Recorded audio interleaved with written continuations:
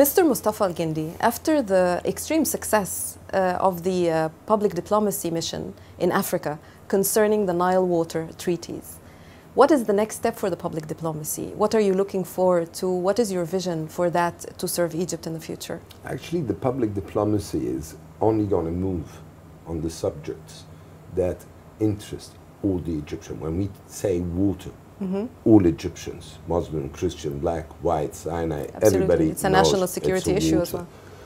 And we are only moving in these subjects.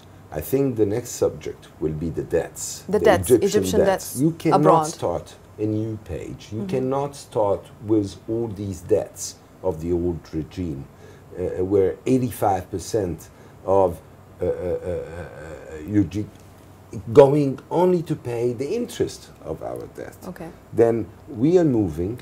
Especially how, how do you how do you plan to do this? Are we talking about the debts with the European Union or with the United States of America, or Actually, with I'm the moving IMF or the World Bank, or what exactly? Actually, what the debts are not to IMF or the United States.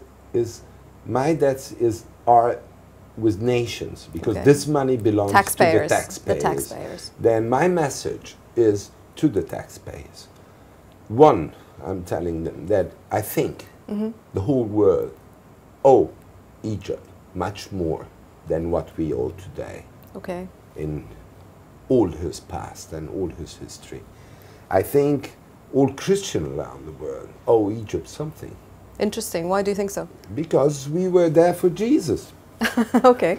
And I, I, I, we protected Jesus. We didn't put him on the cross, we protected him. Anyway, Okay. I think that all the mines that we have on the north coast that I couldn't plant weed The for the last uh, 60 years, 70 years because of the mine that it was put in by the British and the German and the Italian In World War II. in my so, land. yes. Mhm.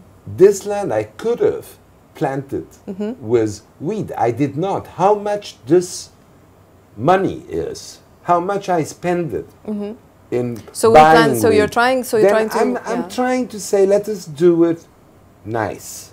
Okay. Because if we In a cooperation project of some sort. Absolutely. If we go and we will say, okay, Mubarak was your friend for the last 30 years. His money is in Europe, is in Mm. the state. And these people knows more than $10,000 where this money goes. Mm-hmm. Then they know where our money. Then when we go there and we ask, drop our debts. Mm-hmm. So you're aiming to drop the debts totally. Yes, absolutely. And okay. we are not going to move with the public diplomacy if we do not have an agreement Okay. with A guarantee of these, some sort Uh, that- uh, uh, government, and that's why I'm leaving in two days. I'm going to Europe and I'm going Oh, to excellent. the Okay. States, and I'm going to meet the IMF. I'm going to meet people, senator. You already have- have of a meeting set with these and, people? and and we are moving around this. The Egyptian model have to succeed, and it cannot Mm-hmm. succeed with all these debts. Thank you very much for for giving us this uh, special statement, and we look forward to talking to you again after we come back.